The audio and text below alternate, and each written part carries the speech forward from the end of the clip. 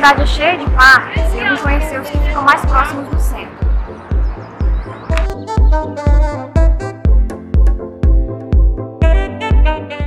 Aqui tem vários espaços para relaxar, trazer criança, andar de bicicleta, caminhar, fazer piquenique. E é bem grande, é bem amplo, dá para fazer o que você quiser.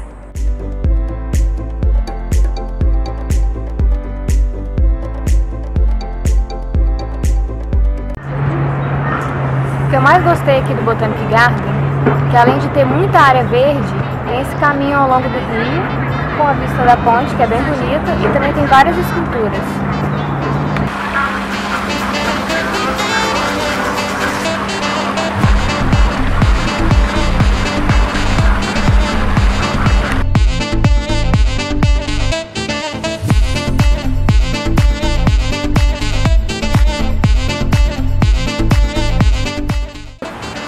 Aqui em Salto Vento tem um parque que ocupa a maior parte do bairro. E lá no início, onde a gente passou, tem umas letras bem grandes com o nome Brisbane, onde os turistas vêm tirar muitas fotos. Andando mais pra frente tem a roda gigante.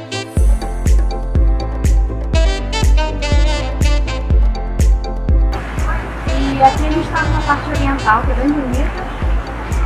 Tem lá na frente, a praia artificial, com muitas piscinas, chafariz, e isso tudo é de graça.